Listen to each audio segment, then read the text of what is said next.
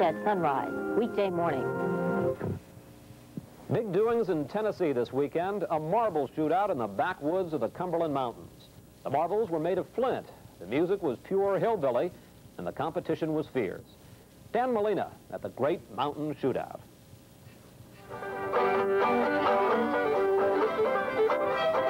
They came to this corner of the Cumberland Mountains from places like Turkey Creek, Free Hill, and Oak Grove.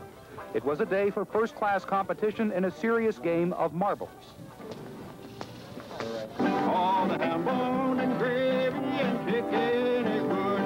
The mountain music being played nearby didn't distract these players. They're the best at a sport that's a world away from the game of marbles that a lot of us played as kids.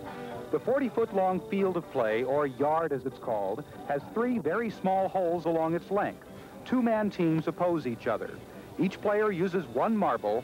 The object is to sink the marble into one hole after another while also blocking the players on the opposing team. It all involves elaborate strategy, and sometimes games stretch on for hours. Maybe on a Friday or Saturday night, they play till 3 or 4 o'clock in the morning. There are tall tales of achievement. It's one marble in three games in a yard bigger than that right there. It is almost exclusively a man's game. My husband, of course. Is, in, is, playing, right. in the, is playing in the match. Right. Now, do you find it interesting, too? Long as he's in there, yeah, but when he's out of it, I'm going home. Most of the marbles are, in fact, made out of flint. Good ones bring a hefty price when the pros get together. It's generally agreed that there are no better marbles than the ones made by Bud Garrett. Bud has been a champion player for 65 years, but he dropped a motor on his shooting thumb the other day. Missing this tournament was no disappointment for him, though. It gave him a chance to fascinate the folks with his homemade marble-making machine. I've got some material here that's not fit to make marbles out of. It makes pretty marble, but they ain't no good.